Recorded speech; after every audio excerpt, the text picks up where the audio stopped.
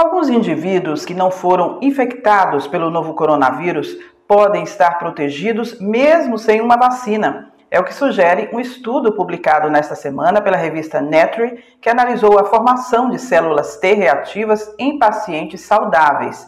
Esse mecanismo de defesa em alguns pacientes apresentou familiaridade com o vírus SARS-CoV-2 isso sugere que o sistema imunológico de algumas pessoas estaria mais preparado para combater a infecção pelo agente causador da Covid-19 que o de outras. A publicação do artigo foi aprovada de forma rápida por conta da importância do estudo e passou pela avaliação de outros cientistas e editores da publicação. O trabalho deve entrar na próxima edição da Nature em agosto, mas já está disponível para consulta online. Os cientistas analisaram amostras de sangue de 68 voluntários na Alemanha eles não tinham sido expostos anteriormente ao vírus, ao menos 35% dos participantes possuíam em seu organismo células T reativas ao coronavírus.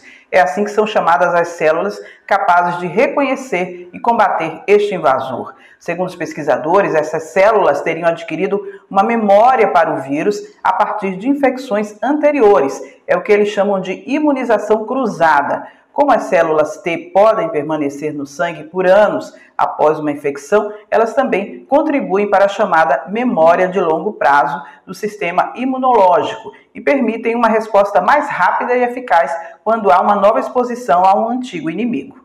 No mundo, diversas vacinas estão sendo desenvolvidas com o uso de células T. A vacina brasileira, executada pela Faculdade de Medicina da Universidade de São Paulo, e pelo Laboratório de Imunologia do Instituto do Coração é um exemplo. Nos Estados Unidos, a vacina da Inovil, chamada de Ino 4800, teve resultados preliminares positivos e tem na composição estimulantes para aumentar a ação das células T.